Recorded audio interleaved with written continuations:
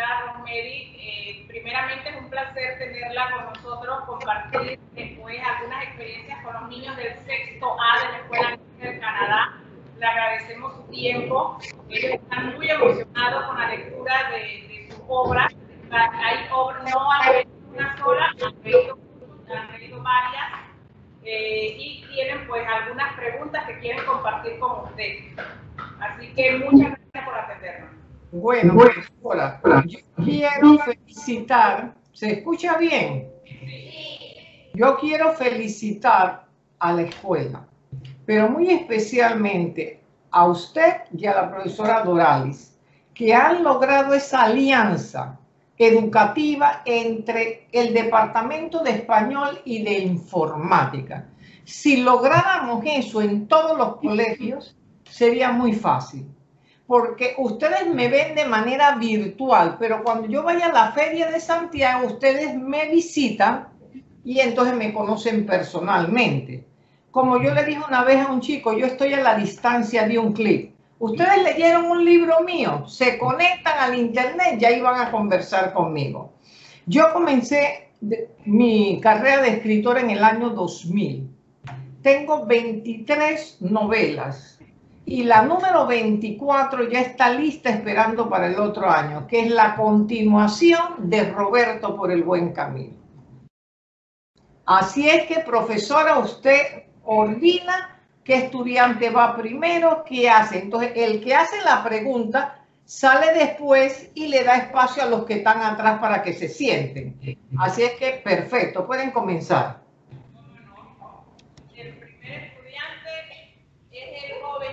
Augusto Pino. Bueno, mi pregunta es, ¿cómo ¿Cómo? ¿Qué le inspiró para ser escritora? La lectura. Y aprovecho la oportunidad para decirles que los lectores son excelentes estudiantes. Tal vez no todos tengan el hábito de la lectura, yo comencé a leer muy pequeña. Entonces, la, es, la lectura es la que te da la inspiración para después tú ser escritor. Así que jóvenes a leer.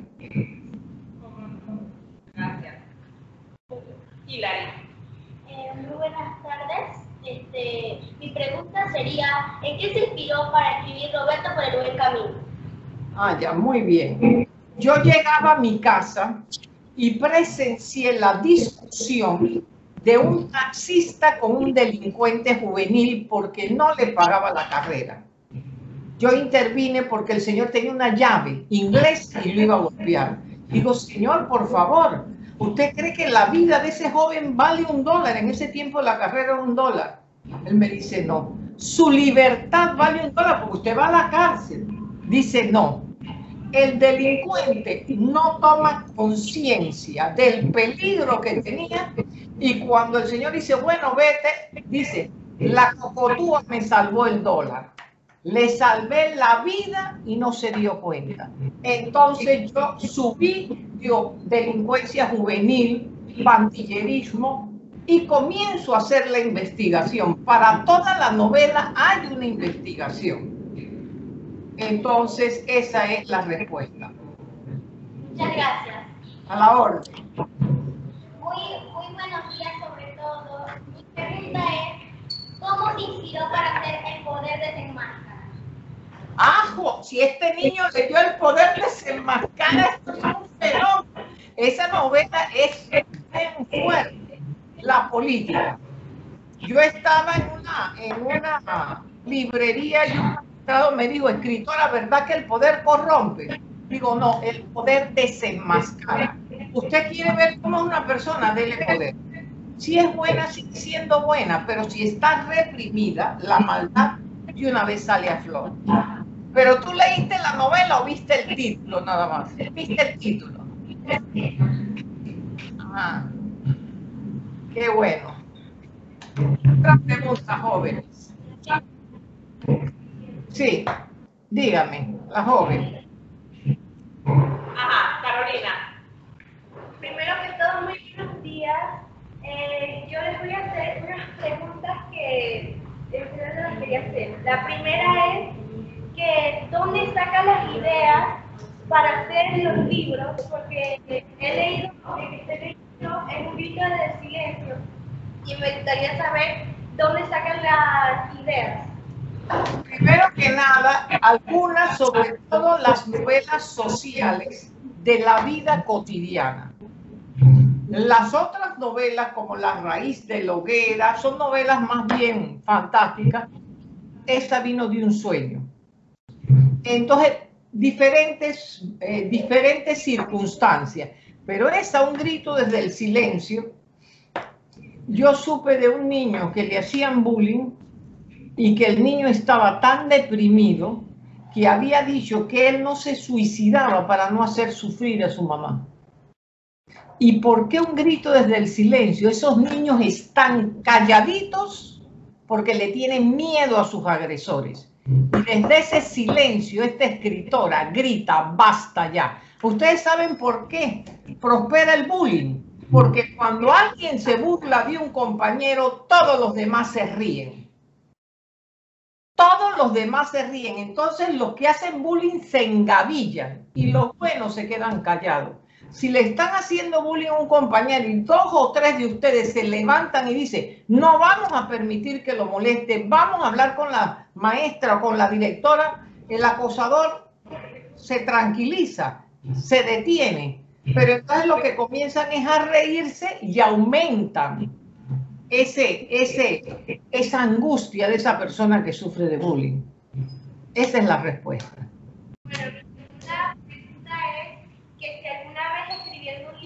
o simplemente que va a escribir un libro pero no tiene ¿le ha pasado?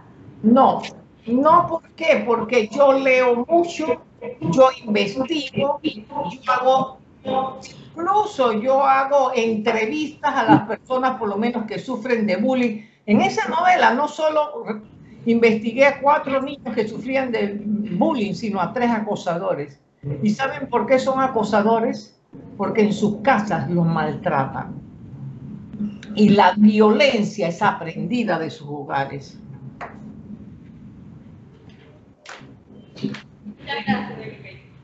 Buenos días. Mi pregunta es, ¿en qué se inspiró para escribir La Niña Bella? La Niña Bella. Muchos padres de familia para ese entonces habían perdido el trabajo por motivos políticos o por fusiones de empresas. Entonces yo quise hacer una advertencia. En los tiempos buenos tenemos que ahorrar y nunca endeudarnos, porque si perdemos el trabajo, no tenemos ahorro y estamos endeudados, es la catástrofe que vive la niña bella. Entonces, una advertencia. Y también el personaje de la abuela la abuela va y reeduca a la familia, porque ella lo había educado muy bien. Él perdió esas enseñanzas, gastador, metiéndose en deuda, y la nuera irresponsable, y ella llega con, con el carácter que tienen las personas de antes, dice, aquí las cosas se van a hacer diferentes. Mire cómo la familia vuelve a, a prosperar. Y también la niña bella, la bondad de la niña bella y la reincidencia de la niña bella. Nunca se quejó. Incluso cuando le vendieron al perrito. Gracias a Dios después lo recuperó porque yo no podía dejar a la niña bella sin su perrito. Así es que Cochito aparece. Así es que esa es una novela muy, muy bella.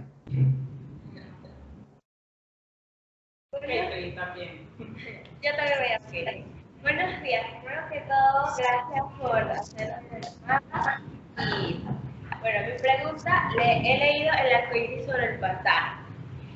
Quiero preguntar si la historia es realista, si la ha observado de esa manera. Yo la creo. Una maestra de una escuela rural me dijo en la feria, yo tengo un niño que es un genio, pero nunca me mira la cara no se comunica conmigo. Es más, si había, sexto grado, se había dañado una computadora, él vio cuando la arreglaron, cuando se volvió a dañar, dice, yo sé, como la iban a botar, dice, cógela, ahí. Después la puso a funcionar. Cuando ella me cuenta eso, pero ustedes saben, si ustedes han ido a la feria, yo tengo la fila que da la vuelta y yo firmando libro y de repente se me pierde la maestra. Pero yo tengo un sobrino que es educador en Canadá y me dijo, tía, eso puede ser un Asperger, un leve autismo. Y yo comienzo, me leí como seis libros de Asperger, de autismo, de los niños genios y entonces con todos esos conocimientos, yo creé la novela El arcoíris sobre el pantano, pero yo quería hacerle un homenaje a esa maestra que cuando tiene un niño de condición especial tiende un, un puente de amor para incluirlo. Y ese es el personaje para mí más destacado, la maestra Carlota. Ella significa el amor en la novela no sufrió mucho y siguió adelante. Así es. A ver, Araceli tiene una pregunta. Eh, buenos días, mi nombre es Araceli Reyes y yo leí Mi Niña Bella. Esa historia me gustó mucho, pero yo quisiera saber si la historia es imaginaria o es real. Miren, la historia, yo hice la investigación, yo entrevisté a 17 niñas de esa edad 17 niñas de esa edad. Pero hay una escena en particular que es real. Cuando la niña bella ve al papá llorar. Yo, yo no lo recordaba hasta que hice la novela. Cuando yo tenía cinco años, mi papá se va para Panamá, nosotros estábamos en Chitré. Y él tiene que ir a Panamá a buscar trabajo. Y cuando él se despide de su esposa y de sus hijos, porque él se llevó a Juan Carlos, yo por primera vez vi a mi papá llorar. Y lo recordé haciendo la niña bella y yo puse esa escena que la niña dice, cuando llora mi mamá no me afecta tanto porque ella es muy sensible y llora viendo novelas, películas, pero mi papá nunca antes había llorado. Entonces, esa novela tiene esa parte de la realidad y la otra es investigación de lo que pasa en una familia cuando el sostén de la familia pierde el trabajo. Mariana tiene una pregunta con otra obra. Muy buenos días, mi nombre es Mariana Reyes y yo leí la novela Los Ángeles Me gustó porque es cierto que hay niños que tienen recursos económicos bajos y nosotros que tenemos muchos recursos no pensamos en los otros que tiene recursos bajos. Y aquí la novela eh, me ayudó mucho a reflexionar. Y mi pregunta es, ¿y en qué me inspiró para hacer esta novela? Mira, esta es muy buena que hizo la chica también. Mira, yo estaba en Chitre y llegó un niño a pedir trabajo. Un niño de nueve años. Yo soy incapaz de poner un niño. Digo, ¿por qué tienes que trabajar? Dice, si yo no recojo cinco dólares, mi padrastro no me deja ir a la escuela en la tarde. Eso me partió el corazón. Cuando se lo digo a mi cuñada, ahí ella dice, eso no es nada. En el interior, en Tonosí, donde tenemos la finca, en un campo de Tonosí, hay un niño que tiene 11 años. No sabe ni leer ni escribir porque la madre lo abandonó a los 3 años y el papá se lo lleva al monte a trabajar. Esa es una novela que significa la solidaridad de ese señor Erasmo millonario que nunca hizo nada, pero él se va al campo, al lugar donde nació, a recuperarse. Y cuando ve ese niño campesino, con ese apodo de Mongutito, en, él se andaba buscando, buscaba a Dios, ya no tenía vacíos. Y en ese niño encuentra su alma, encuentra al prójimo y encuentra a Dios. Acuérdense que cuando ayudamos a una persona desesperada, en situación muy precaria, cumplimos el Evangelio. Cada cosa que haces con un hermano necesitado la haces conmigo.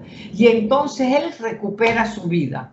Y cómo ese niño hace que incluso su papá cambie de pensamiento porque el papá era un campesino cerrero, de esos cerrados, no había forma de que él perdonara. Y gracias al desliz de la mamá de Mongutito, él le puede salvar la vida a su hijo. y cómo él perdona y cuando él perdona le cambia la vida. Esa es una novela muy completa, tiene todo, tiene todo lo que debe tener una buena novela. Entonces, de ahí vino la inspiración. Entonces, cuando yo vi eso, yo creé la historia. Me gusta su método, profesora, porque usted ha puesto a los niños a leer varias novelas y eso hace que uno de los niños se interese en la otra. Ustedes la pueden intercambiar, pero eso sí, dando y dando. Cuando tú me entregas la mía, yo te entrego la tuya porque el que presta una novela mía la pierde. No se quedan con ella. Así es. Eh, se han motivado. Eh, creo que casi la totalidad del salón eh, adquirió su novela o la consiguió. También hicimos una ficha de lectura para intercambiar la información básica. Y bueno, aquí los fue bastante motivado hoy que sabían que iban a, a interactuar con usted un poco triste el día que llegaron y se nos fue la luz. Profesora, yo estaba triste acá también porque yo sé lo que es la desilusión de un niño. Profesora, cuando ya terminemos, yo quiero que hagan una foto con, la, con usted, la profesora de informática y todos los niños, porque esto va de portada para el video. Y entonces yo le voy a mandar a la profesora Doralis el enlace de YouTube. Yo tengo un canal en YouTube y lo voy a poner en todas las redes sociales para que ustedes con ese enlace puedan verla en su casa, pero tienen una tarea, hacer que alguien en la casa lea la novela. Miren, yo tengo un programa Siembra de Lectores, tenemos 356 círculos de lectura y uno en Facebook, yo no sé si ustedes tienen Facebook, que se llama Círculo de Lectura Virtual, Siembra de Lectores que se pueden agregar. Teníamos 6.000 pero activos 3.600 y algo y, han desplazado a los otros porque ahora Facebook, el que no participa en dos meses, lo corre hasta que vuelva a participar. Así que ustedes se pueden unir, pero ustedes van a tener la lectura en su casa, porque ustedes ahora se reúnen con su familia y van a decir, oh, qué buena pregunta hizo mi hija, o qué buena pregunta hizo mi sobrina. Yo los voy a poner de ejemplo aquí en Panamá, porque yo he tenido un gran esfuerzo y no encuentro lo que encuentro en el interior. Yo soy de Chitré, yo sé que en el interior nos cuesta más trabajo todo y por eso somos proactivos. Entonces, algunos falta por preguntar. Tengo algunos que quieren compartir. Buenos días, mi nombre es Ana y le voy a hacer una pregunta. Planifica tu historia por detrás de tu imaginación. ¿Perdón? Planifica tu historia por detrás de tu imaginación. Mira, la mayoría es la imaginación, lo que llaman la inspiración. Pero no creas que la inspiración va a venir así por así. Tú tienes que ponerte a trabajar, investigar el tema, entonces la inspiración te visita que la inspiración no visita a los vagos. No es que tú vas a estar en la playa y te va a llegar la inspiración. Tú tienes que ponerte a trabajar para que te llegue la inspiración. Buenos días, mi nombre es Alberto. Una pregunta de la novela La Niña Bella. ¿Por qué Santiago Moreno, el papá de Sayuri,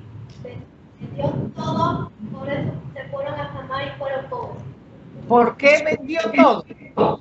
¿Por qué vendió todo? Fue la pregunta. Que no tenían ni para comer. Y cuando la gente se endeuda y no tiene ahorros, tiene que sacar, vender el cuadro, vender el cuadro, vender los muebles, porque de algún lado tienen que sacar ingresos para poder mantenerse.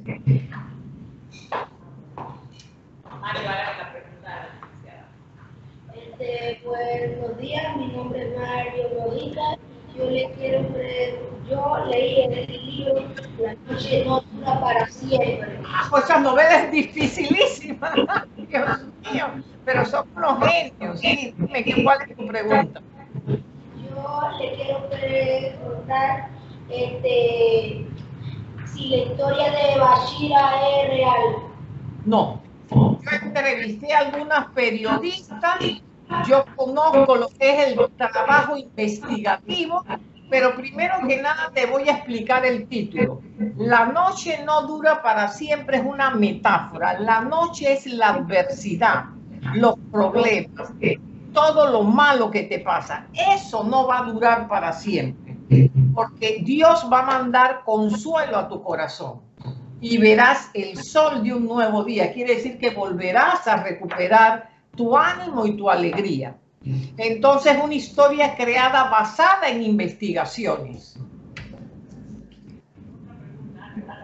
La otra pregunta que le quiero hacer es, ¿se imaginó llegar a ser una de las escritoras más famosas de Panamá? Qué bueno todo, eso dicen los lectores. Eso dicen los lectores, pero yo prefiero ser otra cosa. Yo prefiero ser la escritora más querida de mis lectores. Qué bien. Primero que todo, buenos días. Mi nombre es David Tristán y la novela que yo leí fue Los Ángeles del Olvido. Y mi pregunta es, aparte de Los Ángeles del Olvido, ¿qué otro título le hubieran puesto a esa novela? Bueno, el título yo lo pensé, al final me vino. ¿Por qué? Yo no le tenía nombre a esa novela. Y yo estaba con una persona conocida y llegaron los niños a pedir limosna. Y dice, ay, me van a ensuciar el carro. Ay, que yo no sé qué. Y yo le he dicho, son ángeles olvidados de la sociedad, de su familia, que tienen que salir a la calle a pedir, a pedir limosna o a pedir ayuda. Entonces me llegó Los Ángeles del Olvido para la novela. No había otro nombre. Esos niños son ángeles olvidados por la sociedad, por la familia, porque el niño no tiene que trabajar, el niño tiene que estudiar y jugar. Entonces no tiene que salir a la calle a arriesgarse que lo atropelle un carro para conseguir dinero. No hay otro nombre, Los Ángeles del Olvido. Bueno.